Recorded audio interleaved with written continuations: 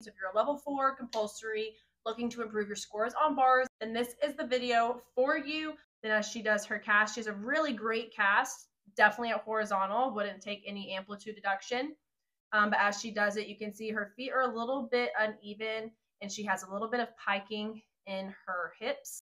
Goes into the kip, again with the feet. That one's a little bit better, so good job on that one. Her cast amplitude, like I said, is so good. She has really aggressive kips and casts, which is awesome because she's doing all the hard stuff, which is like the skills and the technique and the the power and stuff. So good for her. But she just needs to clean it up and fix the easy stuff, which is the feet together, the form deductions, and things like that. She had a beautiful cast. I think her um, amplitude was great. I would not probably deduct much in her amplitude. Um, the deductions repeat itself. So if you know the deductions, it's going to help the whole routine. And for me, that's why I became a judge. And I want to help athletes see what they need to do and they need to see what we see as judges or what we are looking for